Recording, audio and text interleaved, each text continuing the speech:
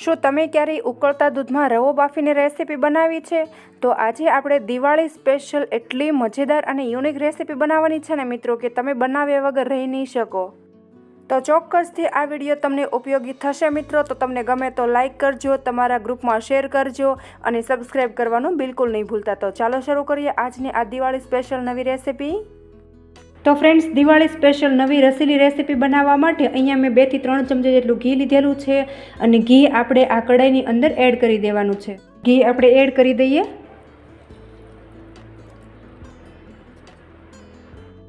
તો મિત્રો, ત્યાર પછી આપણે આ રેસીપીની અંદર દૂધની જરૂર પડશે. તો જે આપણે ઘી એડ કર્યું છે ને, એની સાથે જ આપણે દૂધને પણ એડ કરી દેવાનું છે.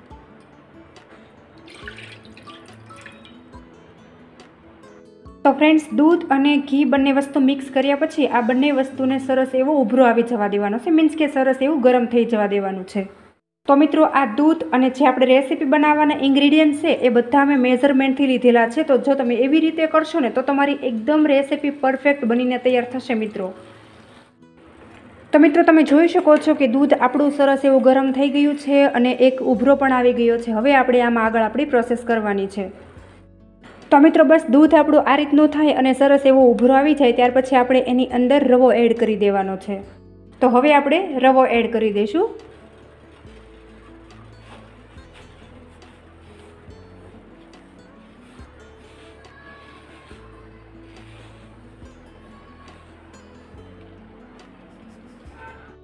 હવે તવીથાની મદદથી સતત એને હલાવી લેવાનું છે. અને કદાચ તમને એવું લાગે કે દૂધ ઓછું પડે અને ગઠ્ઠા થઈ જાય, તો ફરી વખત તમે ગરમ કરેલું દૂધ એની અંદર એડ કરી શકો છો.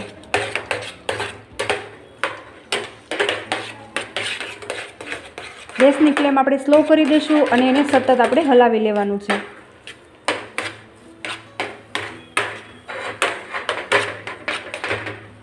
તો ફ્રેન્ડ્સ, મને અહીંયા થોડું એવું લાગે છે કે દૂધ એની અંદર થોડું ઓછું છે, તો હું અહીંયા થોડું દૂધ એડ કરી રહી છું.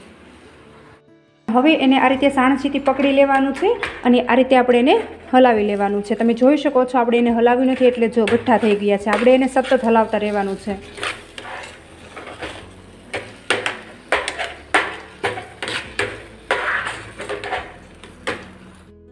તો મિત્રો આપણે જ્યારે રવાનો શીરો કરીએ ત્યારે આપણે ઘીની અંદર રવાને શેકી લેતા હોઈએ છીએ. પરંતુ આપણે અહીંયા રવાને ઘીમાં નથી શેકેલો અને આપણે સૌથી પહેલાં ઘી એડ કર્યું, ત્યાર પછી દૂધ એડ કર્યું અને પછી આપણે દૂધની અંદર રવો એડ કરેલો છે. એટલે રવો આપણો કાચો છે, એટલા માટે દૂધની અંદર રવો સરસ રીતે બફાઈ જાય, એટલા માટે એને આપણે આ રીતે ત્રણથી ચાર મિનિટ સતત એને હલાવતા રહેવાનું છે. તો હવે જે આપણે આ રવાનો લોટ છે, એની અંદર એક વસ્તુ એડ કરવાની છે. તો અહીંયા મેં બેકિંગ સોડા લીધેલા છે, તો આપણે માત્ર એકથી બે ચપટી જેટલા જ એડ કરવાના છે. વધારે એડ નથી કરવાના મિત્રો, ખાસ યાદ રાખજો. આપણે મિક્સ કરી લેશું. જો તમે નહીં હલાવો તો આ રીતે નીચે દાજી જશે ને સતત હલાવતા રહેવાનું છે. આ રીતે આપણો લોટ સરસ એવો બફાઈ જાય ને એટલે આપણે જે રેસીપી બનાવવાની છે ને એ ખૂબ મજેદાર બનીને તૈયાર થશે મિત્રો. આ રીતે લોટને એકદમ સરસ એવો સ્મૂથ કરી લેવાનો છે.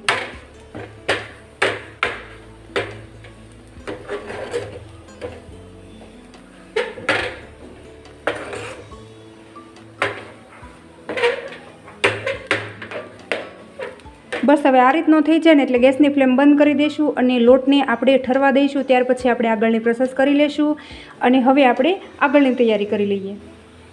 હવે જે આપણે રવાનો લોટ બાફીને રાખ્યો છે એને સાઈડમાં કરી લઈશું અને ત્યાં સુધી આપણે આગળની તૈયારી કરી લઈએ.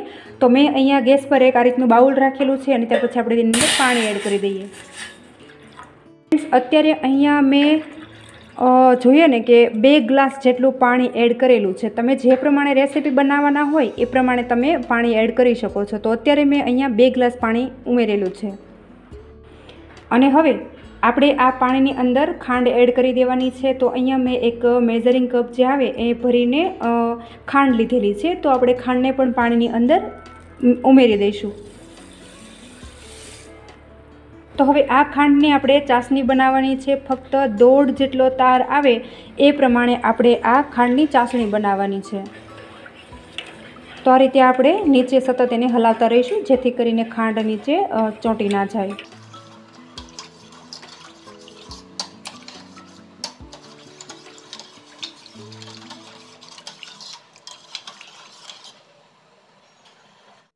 મિત્રો ગરમ પાણી છે એટલે ખાંડ તો ફટાફટ ઓગળી જશે, પણ જે આપણે દોઢ તારની ચાસણી લાવવાની છે ને, એ થોડી વાર લાગશે. એટલા માટે આ રીતે સતત હલાવતા રહેવાનું છે. આપણે ખાંડની ચાસણી બનતા થોડી વાર લાગશે, એટલે આપણે એને ગેસ પર એમનામ છોડી દઈએ અને જે આપણે લોટ બાફીને રાખ્યો છે ને, તેની પ્રોસેસ પણ આપણે કરી લઈએ. તો ફ્રેન્ડ્સ આપણું જે આ મિશ્રણ છે, એને આપણે આ રીતે એક મોટા વાસણની અંદર કાઢી લઈશું, જેથી કરીને આપણને મસળતા સારી રીતે ફાવે. તમે જોઈ શકો છો કે આપણે એને કેટલું હલાવેલું હતું, તો પણ નીચે થોડું તો એમ કે ચોંટી જ ગયું છે. આ રીતે આપણે થાળીની અંદર કાઢી લઈશું, જેથી કરીને ઠરી પણ જાય અને આપણને મસળતા પણ ફાવે. અને અહીંયા મેં થોડો માવો લીધેલો છે. માવો બિલકુલ ઓપ્શનલ છે. જો તમારે એડ કરવો હોય તો તમે કરી શકો છો, નહીં તો તમે સ્કીપ પણ કરી શકો છો. પણ મારે અવેલેબલ હતો એટલે હું એડ કરી રહી છું.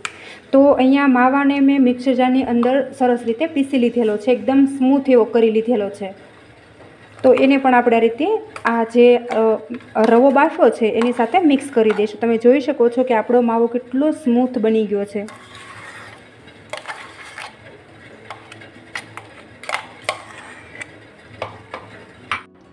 અને હવે આપણો જે આ રવો છે એ થોડો ઠરી ગયો હોય ત્યારે એને આ રીતે આપણે હાથની મદદથી મસળી લેવાનો છે.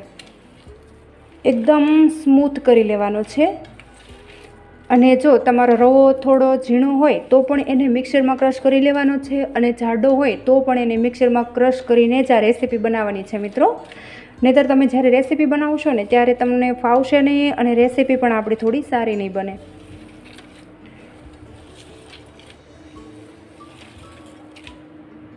તમે જોઈ શકો છો કે મેં અહીંયા હાથથી સરસ રીતે મસળી લીધેલું છે. પણ હવે ખબર નહીં કે આ આપણે આની સરસ એવી ગોળીઓ વાળવાની છે અને જે આ ગોળીઓ છે એને આપણે તેલમાં તળવાની છે કે થશે કે ફાટી જશે તો આપણે હવે બનાવી લઈએ, ગોળીઓ બનાવી લઈએ. જો અહીંયા મેં આ રીતની બનાવેલી છે પણ મને એવું લાગે છે કે આને આપણે તેલમાં તળશું ને એટલે ફાટી જશે. કદાચ આપણે માવો એડ કર્યો છે ને એટલા માટે.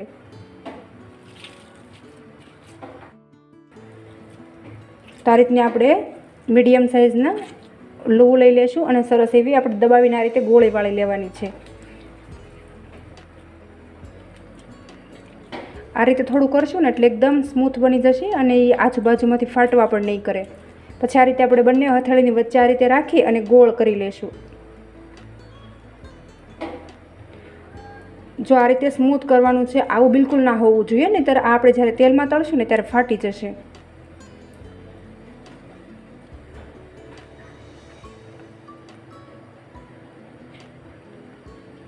તો આ રીતે મિત્રો ગોળી કરતાં થોડી વાર લાગશે કારણ કે આપણે એકદમ સ્મૂથલી અને હળવે હાથે કરવાની હોય છે. તમે જોઈ શકો છો કે આ રીતે આપણે પહેલાં રીતે આપણે મુઠ્ઠીમાં એને ફૂલ દબાવવાની છે, ત્યાર પછી આ રીતે બંને હથેળીની વચ્ચે રાખી અને આપણે આ રીતે ગોળ ફેરવી દેવાની છે.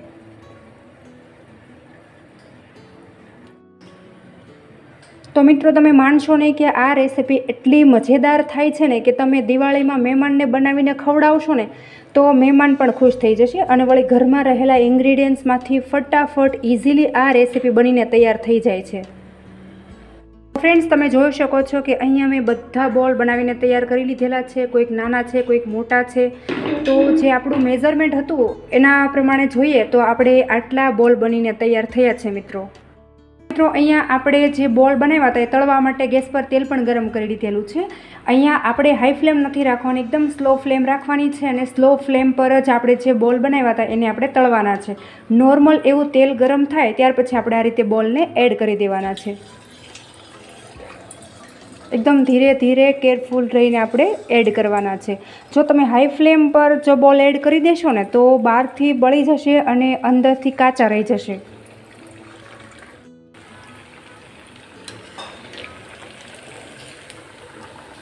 ગેસની ફ્લેમ આપણે સ્લો જ રાખવાની છે. તો મિત્રો, આ રીતે તળાઈ જાય અને આ રીતના થઈ જાય ને, ત્યાર પછી આપણે એને બહાર કાઢી લેવાના છે. મિત્રો, તમે જોઈ શકો છો કે જે આપણે બોલ બનાવ્યા હતા, એને આપણે સરસ રીતે તળી લીધેલા છે. તો મેં તમને કીધું હતું કે કદાચ ફાટી જશે. તો જો, કોઈ બોલ આપણા ફાટી ગયા છે અને કોઈ જે છે એ આખા રહ્યા છે. તો મોસ્ટલી આપણા ઘણા બધા બોલ આખા જ રહ્યા છે. તો મિત્રો, તમે જોઈ શકો છો કે અહીંયા લગભગ આપણી ચાસણી પણ આવી ગઈ છે. હવે આપણે ગેસની ફ્લેમ બંધ કરી દઈશું.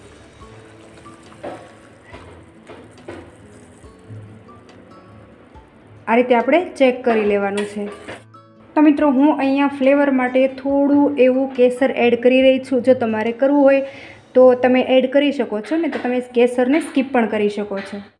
ત્યાર પછી અહીંયા મેં ત્રણ ઇલાયચી લીધેલી છે. એને પણ આપણે આ રીતે ફોલી અને એડ કરી દઈશું આ બંને વસ્તુ મિત્રો ઓપ્શનલ છે. જો તમારે એડ કરવું હોય તો તમે કરી શકો છો ને તે સ્કીપ પણ કરી શકો છો. પણ જો તમે એડ કરશો ને, તો એનો ટેસ્ટ ખૂબ સરસ આવશે. હવે આપણે આ ચાસની ઠંડી થઈ જાય ત્યાર પછી જે આપણે બોલ બનાવ્યા છે, એ આ ચાસની અંદર એડ કરી દઈશું તો હવે આપણે આ બોલને પણ અંદર એડ કરી દઈએ.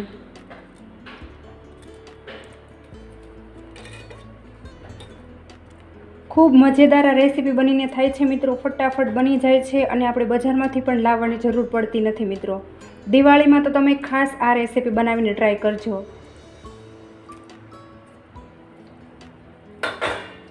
હવે આ ગરમા ગરમ ગુલાબ જાંબુને આપણે સર્વ કરી દઈએ.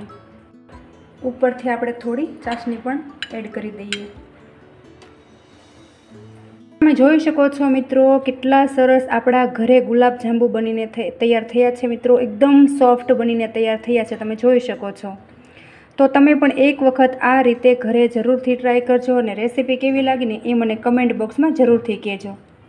તો આશા રાખું છું મિત્રો કે તમને મારો આજનો આ વીડિયો ખૂબ જ પસંદ આવ્યો હશે અને જો તમને પસંદ આવ્યો હોય ને, તો તમારા ગ્રુપમાં શેર કરવાનું બિલકુલ નહીં ભૂલતા. અને મિત્રો, હજી સુધી તમે મારી ચેનલ ઉપર નવા હોય અને ચેનલને સબસ્ક્રાઈબ ન કરી હોય, તો બાજુમાં રહેલી ઘંટી દબાવી મારી ચેનલને સબસ્ક્રાઈબ કરી લેજો, જેથી કરીને આવા અવનવા વિડીયોની નોટિફિકેશન તમને જલ્દી મળી જાય. Thanks for watching my video ફરી મળીશું એક નવા વિડીયોમાં.